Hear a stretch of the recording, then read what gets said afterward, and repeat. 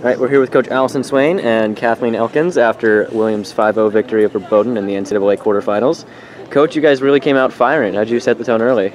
Yeah, I was really excited about um, kind of determined tennis we played right from the start, and uh, you know the matches were close on a lot of the courts to get going, and we were down on court two where Kathleen and her partner Maria were playing. But mm-hmm. I think a lot of gritty determination and, and just believing in our ability to come back really helped us out, and obviously going up 3-0 in doubles is is a nice confidence builder going into singles play. Yeah, Kathleen, talk about your match a little bit. What was the, the big turning point for you? In doubles? Yeah, in doubles. Yeah, doubles. Um, we were really just focusing on one point at a time. Um, we got down 3-0 pretty quickly um, and, and had to battle back. So every time, um, yeah, we just focused on one point at a time and looked towards our teammates whenever we needed a little bit. Fantastic. And you ended up getting the, the clincher in singles too. What was what was working for you in that match?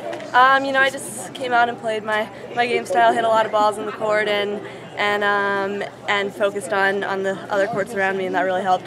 Yeah. Well, it looks like you'll be you'll be facing Amherst, a team that's given you a little bit of trouble this season yeah. as you, you look to continue your, your streak of consecutive NCAA titles. What do you have to do to, to to beat them tomorrow? you know, I think it's interesting. It's you know we played a, a, team from our conference today. We have another conference match. It looks like tomorrow in the semis, and mm. um, Amherst is obviously a really talented, tough team who has beat us twice this spring. So we're definitely the underdogs, um, but that's okay with us. And we are going to focus on what we do well as a team and not worry about who we're playing and try to control our side of the court. All right, great. Well, thanks so much, and best of luck the rest of the way. Thank you. Thank you.